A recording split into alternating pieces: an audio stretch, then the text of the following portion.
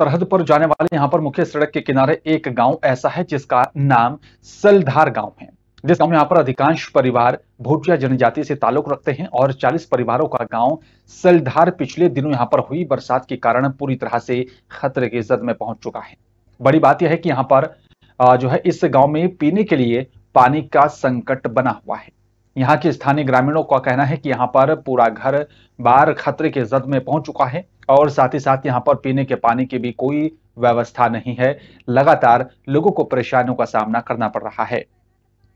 ग्रामीणों का कहना है कि यहाँ पर वे लोग गाँव से यहाँ पर दूर एक गंदे नाले का पानी पीने के लिए मजबूर हो रहे हैं और साथ ही कहा कि वे लोग यहाँ पर लंबे समय से गंदा पानी पीने के लिए मजबूर हैं और आज तक किसी ने भी यहाँ पर हमारे गाँव की सुध नहीं ली है। व्यवस्था कह दिए प्रधान बनी होना माता का दो तीन महीना हुएगा। आम बोल आज वो बोन तय आम थोड़े पानी के आम गंदू पानी पियाना कपड़े बुदे छांगना।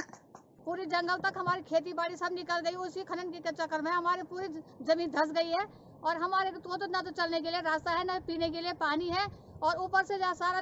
वो धस के आ गए उसके चक्कर में वो धसने से हमारे यहाँ पे पूरा पानी निकल गया और पूरी ज़मीन धस गई है। एक खेत भी हमारे पास सब्ज़ी बोने के लिए खेती बाड़ी एक बगीचा तक नहीं बचा हमारे पास खेल वहाँ पे सब्ज़ी बोने के लिए ऊपर से पूरी दरारें पड़ गई इतनी बड़ी दरार पड़ गई कि जिसके हमारे हमारे तो रहने के लिए भी परेशानी हो गई हमारे मकान का भी, भी जा सकती है। तो खाली मुश्किल कर रहा है कपड़ा छान छान पानी पियाना ना गाय बासन पानी से ना बकरी से बकरी पानी पिले ना बट्टू से ना कुछ नहीं हमारे।